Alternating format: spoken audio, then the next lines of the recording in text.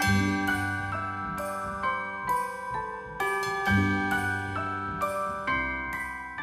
Hey everyone, welcome back to my channel. And if you are new here, my name is Brenda, or also known as Cozyaholic. And for today's video, we are now gonna be decorating my formal dining room, which I'm very excited to share with you guys. It turned out so freaking beautiful, and I really hope that you guys like it as well. And if you watch my previous Decorate With Me videos, then you know that for this year, I am trying to go for a very natural, organic look, very minimal, kind of Scandinavian. And honestly, I just like, it's been a journey of trying to figure out what I wanted to do for this area, but I think I finally figured it out. As you can tell, I painted this wall a beautiful green color, which I will link the color for you guys down below as well as here on the video. But honestly, it's such a creamy green. So freaking beautiful. I love it. But anyways, I really hope that you guys do enjoy and get all the inspiration you need for when you're ready to decorate for Christmas. And other than that, I'm gonna stop talking and we're gonna hop right into it. So before I start decorating my table, I went ahead and refilled my all-purpose spray bottle with the Mrs. Meyer's Iowa Pine Christmas collection, which smells amazing. So I just filled this up and removed the fall scented one that I had previously, which was pretty much already empty. There's maybe like an inch of it left, um, but I went ahead and replaced that with this one.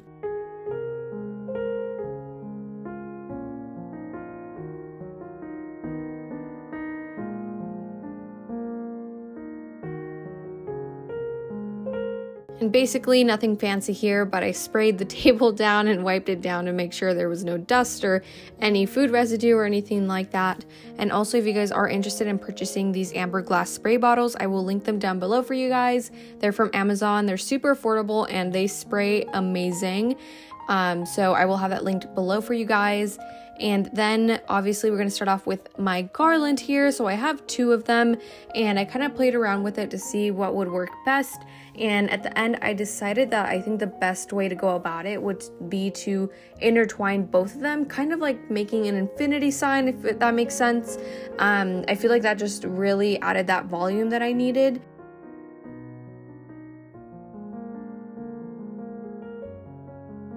And then I just started fluffing up the leaves, kind of spreading them out, make sure that I was hiding as much of the brown twine as I could, just to make sure it didn't look super fake. You obviously want to make it look full and realistic, so just make sure to hide all of your little branches that are in there. And then I moved along with my candlestick holders. So these I purchased from Hobby Lobby, super beautiful. And these you can find them in the normal candlestick section, not in the holiday section.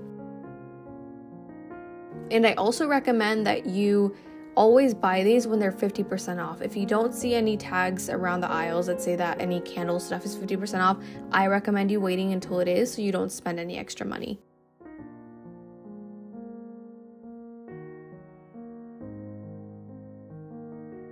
And then basically what I did here is I just kind of alternated between a small one and a tall one and it pretty much looks like this, super freaking gorgeous.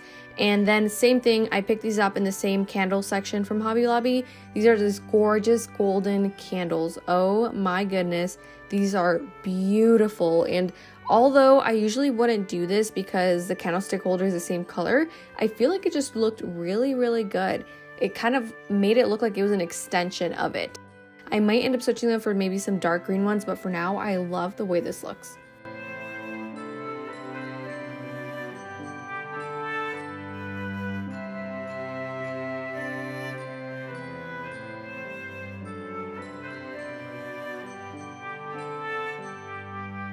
And then moving along to some more decorations, these beautiful teardrop branch like stem things are so gorgeous. I wish I would have picked more of them up because I went back and I couldn't find them anymore. They're completely sold out, so I was very sad. But I think if you go there and you go to like the wedding section, they might have some. I didn't have a chance to go in there, but I found online that there was possibly some. But, anyways, I took them apart and I started adding them in between my garland. And pretty much the concept of this is to make it look like the garland is wet kind of like it has little little water driplets coming out. So kind of for example like if you were to cut this outside while it was raining you know in the morning and then you bring it inside and lay it down. That's kind of like the concept that i was going for so it just makes it feel super natural kind of like you have something from the outdoors from the nature sitting on your table. I just love the way it turned out. It looks gorgeous. I just really wish i had more of these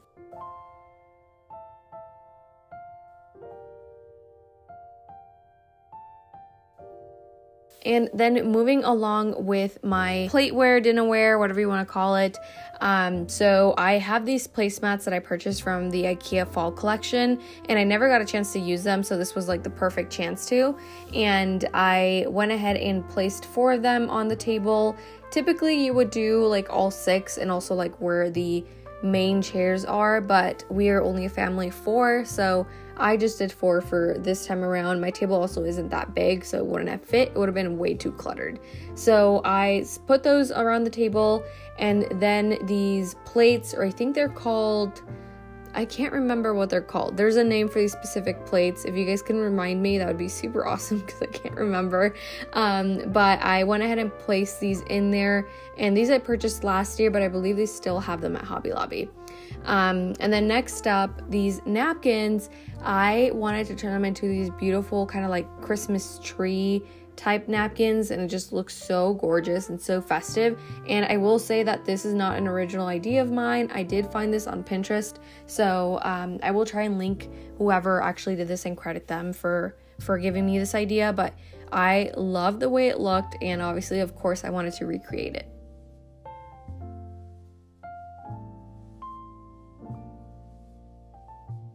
And essentially, what you do is just kind of fold the napkin up into different layers, and then you tuck in the little corners all the way in, and pretty much just do that. And at the end, it looks like a Christmas tree. So freaking cute. If I had some green napkin holders, I think that would have looked so gorgeous. Way better than this, but these were the napkins that I had. I really didn't want to purchase new ones, so this is all what I had to work with. I might end up switching them out. Who knows? But you guys will see that in my final Christmas home tour. And then also, I feel like this would have been so perfect with some black plates. So I might possibly buy them, but who knows? We will see. And then for silverware, I just went with these golden bronze ones that are so gorgeous. I purchased these at Target, and I believe these are the Threshold collection.